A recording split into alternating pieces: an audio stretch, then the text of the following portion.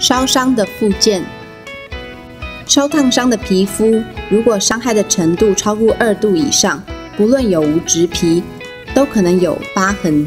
而大面积的烧烫伤，经常会造成疤痕挛缩，进而造成肢体功能发生障碍，失去处理日常生活的能力。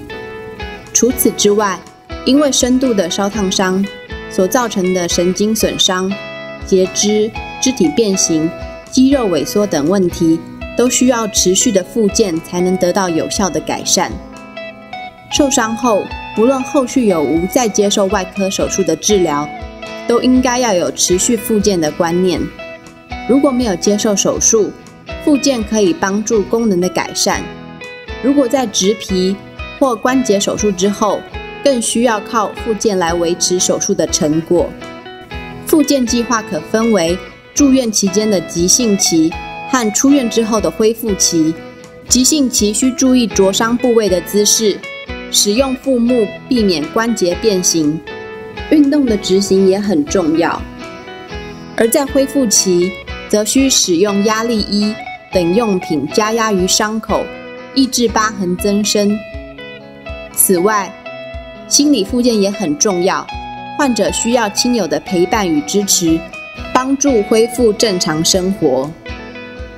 住院期间，我们需注意到三部分：灼伤部位的姿势摆放、护木的使用、运动的执行。第一部分，姿势摆放。肢体受伤后，通常病人会不自主地将肢体屈曲起来，因为这样的摆位对病人来说是比较舒服不痛的。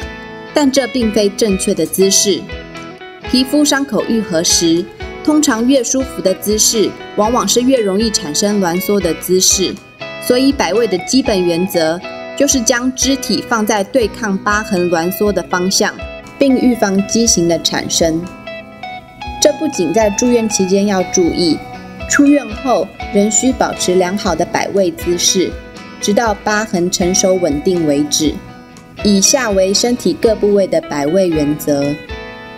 颈部有烧烫伤时的摆位，颈部前方如有烧烫伤时，不可垫枕头，但可利用小毛巾卷成圆柱状垫在背部，以保持颈部些微向后伸展的姿势。但如有头晕的症状出现时，则背后不要垫小毛巾，必要时需就医检查头晕的原因。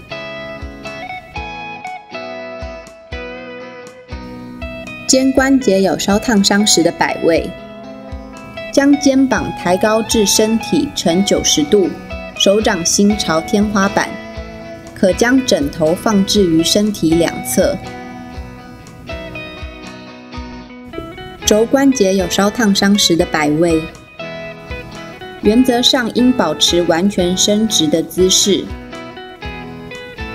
若只有手肘后面有烧烫伤时，可将毛巾垫在手腕下，保持微弯的姿势。手腕关节有烧烫伤时的摆位，使用腹木将手腕保持在手腕朝手背伸展三十到四十度，第二至五只掌指关节朝掌心弯曲四十五至七十度，指尖关节伸直，拇指保持在对掌的姿势。拇指的指尖关节应避免过度伸直，此姿势类似手握杯子的姿势。若手指间有烧烫伤者，可利用纱布卷，保持手指间有一定的空间，或用手套充气，保持手指间有一定的空间。髋关节和膝关节的摆位。下肢放松时，容易呈现髋关节弯曲及外翻、膝关节弯曲的姿势。因此，正确的摆位是膝关节保持完全伸直，在于腿外侧以卷起的毛巾或床单挡住脚向外翻转。大腿内侧或会阴部有烧烫伤时，两脚需打开十五至三十度，可用大枕头放在两脚中间协助摆位。踝关节的摆位，可利用腹木让脚板与小腿垂直成九十度，若无腹木可用，可将脚板顶床头或床尾的床板或墙壁，脚趾头朝天花板，使脚板与小腿垂直成九十度。第二部分，腹木。腹木是一种借低温加热即可成型的肢体塑胶支架，它可将肢体固定在功能位置，以达到预防或矫正挛缩的功能。在急性期，对于二三度烧伤的病人，伤口又在关节附近，使用腹木可协助一般摆位之不足，植皮后之保护固定，以及早期挛缩之矫正，维持关节角度以预防变形。而腹木的使用需求与穿戴方式，应听从治疗师的指示。以下介绍一些腹木的穿戴原则：一、个人烧烫伤病情，可穿戴两小时，休息两小时，一日穿戴三回。踝足部支架，将小腿抬高，脚踝维持九十度，接着将脚跟。贴紧放进支架中。一个人受伤情形，确认脚跟尽量没有悬空。最后把粘扣带依序贴上。可穿袜子或放纱布，减少压迫。膝支架，将大腿抬高，接着将膝盖伸直放进膝支架中，尽量保持膝盖伸直摆位。最后把粘扣带依序贴上。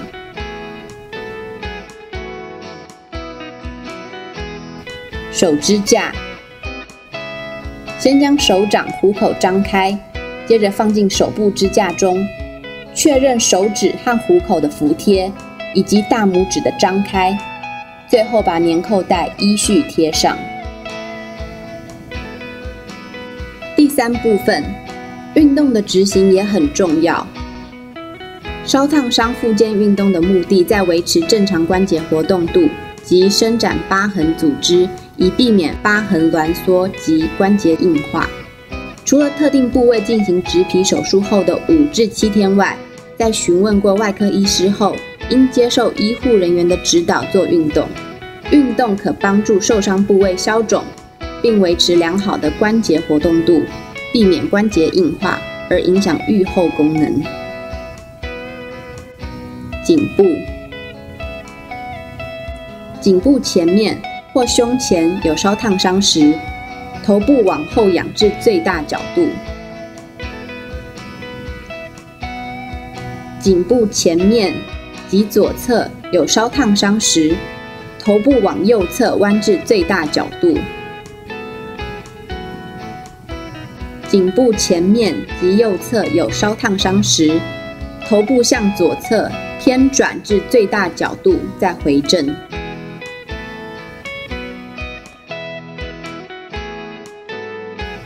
躯干，躯干前侧、胸、腹部有烧烫伤时，常因弯腰驼背，进而促进疤痕挛缩。应随时保持抬头挺胸，同时可做双手后撑的后仰扩胸运动。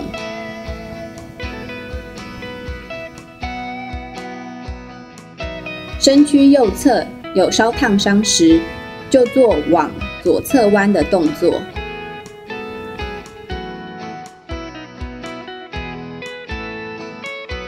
躯干背部有烧烫伤时，可于坐着做身体前弯的动作。躯干前侧或后侧或左右两侧有烧烫伤时，可坐着做转身的动作，双脚及骨盆固定不动，只转上半身，上半身要尽量挺直。肩关节，肩关节腋下及其邻近前胸与后背的地方都有烧烫伤时，可于坐着或躺着练习主动抬高双手。尽量抬高向床面靠近，双手掌心互对。肩关节腋下或前胸有烧烫伤时，可坐着或躺着做水平扩胸运动。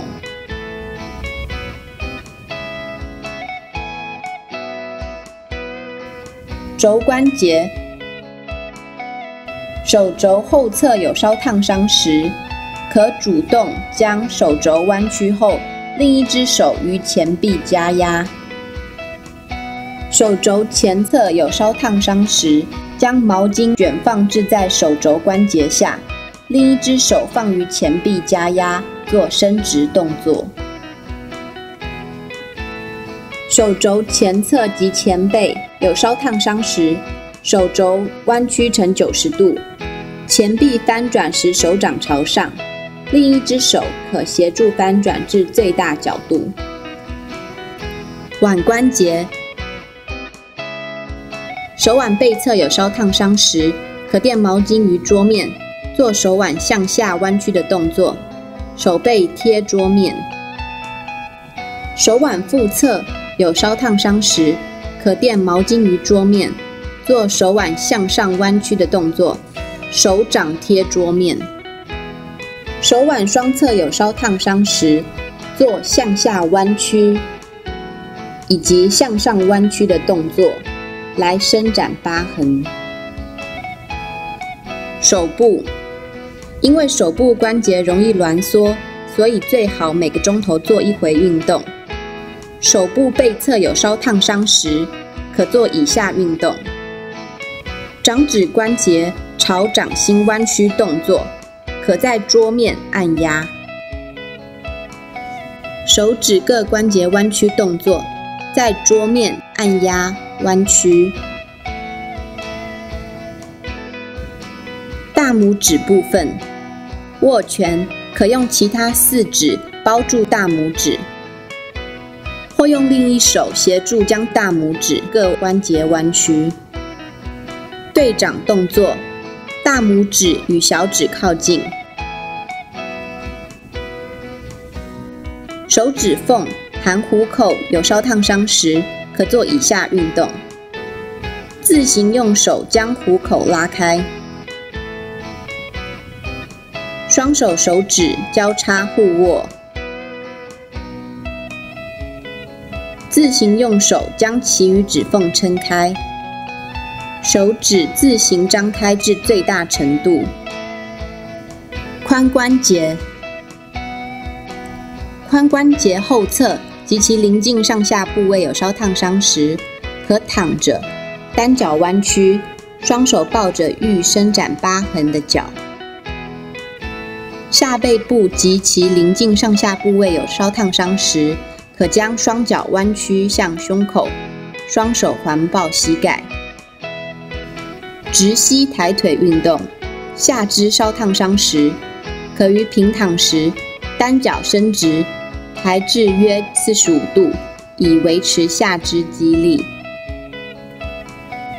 膝关节，膝关节后侧及其临近大腿、小腿后侧的地方有烧烫伤时，可于脚踝上方放置毛巾卷，做膝盖伸直的运动。膝关节前侧有烧烫伤时，可做单脚抱膝的动作。踝关节，脚踝前侧或足背有烧烫伤时，可主动将脚板往下弯曲；脚踝后侧有烧烫伤时，主动将脚板往上弯曲。脚趾，脚趾或脚背前端有烧烫伤时，平常。应主动将脚趾往下弯曲。脚趾或脚底有烧烫伤时，可于平时主动将脚趾往上伸展打开。嘴唇与脸颊，嘴唇部位或其周围有烧烫伤时，做如下的动作：左嘴角有烧烫伤时，向右歪嘴角。张大嘴巴，闭口笑，抿嘴，并将上下嘴唇往口内收。眼睛，眼睛周围有烧烫伤时，需常做闭眼的动作。睡觉时，若眼睛无法完全闭合，需就医检查，预防干眼症或其他眼疾。做伸展运动至最大角度而感到紧绷或疼痛时，要在此姿势维持十到十五秒，才有较佳的伸展效果。每个关节运动每回做十五到二十次，每日至少做三回。烧烫伤后的皮肤较脆弱，易产生水泡或小伤口，但不应影响复健运动的执行，如水泡面积渐渐扩大或变脏。应与医师或烧伤中心联系，勿擅自使用药用乳霜于受伤部位。患者能自理的日常生活功能，也应尽量自己动手，这是最佳的复健。除了固定的复健运动外，在日常生活中应特别注意正确的姿势或摆位，并避免在疤痕紧缩的姿势活动过久。出院后。若有需要，可就近寻求复健机构治疗师的协助指导做复健运动。在手术后二至三个月起，疤痕挛缩的速度更加迅速，关节活动极易受限。此时更要有恒心的持续运动，并利用各种可提供压力的材料，持续穿戴，确定斑块成熟不再增生为止。此时。亲友应该多多倾听与支持病人，多一点关心与同理，陪伴并协助度过烧伤后的心理冲击阶段。